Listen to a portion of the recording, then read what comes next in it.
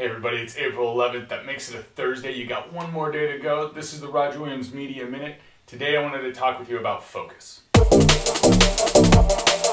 Focus. We hear a lot about this in terms of productivity all the time. You need to focus, you need to be focused, you need to get focused, you need to find your focus. Uh, what are we talking about when we're saying all this stuff? Now, when it comes to a mechanical device like a camera or your eye, you know, focusing is a, the concept is very simple. If you can see clearly, you're in focus. If you can't see clearly, you're out of focus. So, uh, in terms of productivity and your mindset and you know getting things done, being in focus means that you know what you need to accomplish in order to get your bigger goals done. Um, there's a lot of different things you can go about to get to that, such as, you know, following a certain type of plan, like getting things done, or Stephen Covey's seven highly effective habits of effective people and Jesus.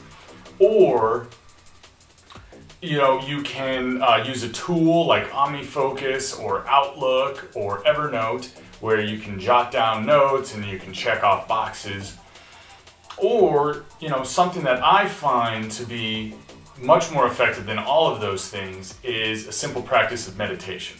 Now, in the West, in the US especially, we look at the word meditation and practice of as kind of a weird thing. Um, some see it as a religious situation, uh, others just see it as foreign and different and therefore strange.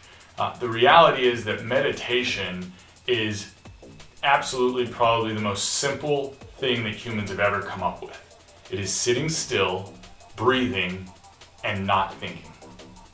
Um, now, as simple as that sounds, actually doing it is very difficult, especially in the modern day and age where you've got your iPhone, you got your iPad, you got your computer, you got the internet, you got your television.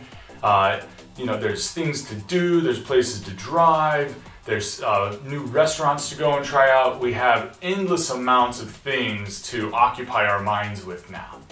So being able to find five to 10 minutes in the morning to just sit calmly, breathing, and doing your best to not think is actually probably one of the most challenging things you can you can try and do nowadays. So what I welcome you to do is really find, you know, a quiet, calm place in your house or in your apartment, wherever you live, where you can spend five to 10 minutes and sit as comfortably as you can. If sitting on the ground is uncomfortable, get a chair.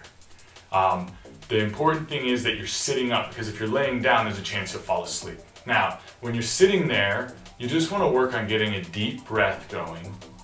And then you want to start visualizing no thought. Well, what does that mean? What that means is when you close your eyes right now and you just try and breathe deeply, you should notice that there's a number of thoughts going around in your head. You, know, you might be thinking about, hey, what time's my show on tonight?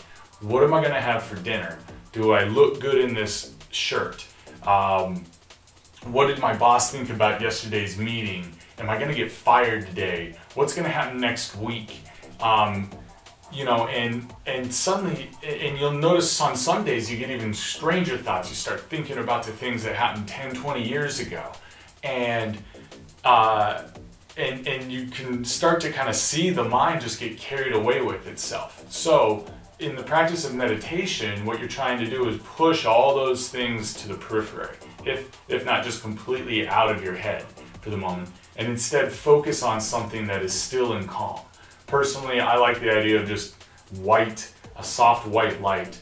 Um, other people like a body of water. Whatever it takes for you to be able to sit calmly with your eyes closed or mostly closed and just have no thoughts going through your head, I guarantee you will see huge benefits. Now, it is a struggle um, to sit there, so I, I recommend you start five or 10 minutes, slowly work into it, but give it a try uh, you know, go do it right now, hit pause, go do it right now, come back, um, or, you know, leave me an email, give me some comments, let me know how it went.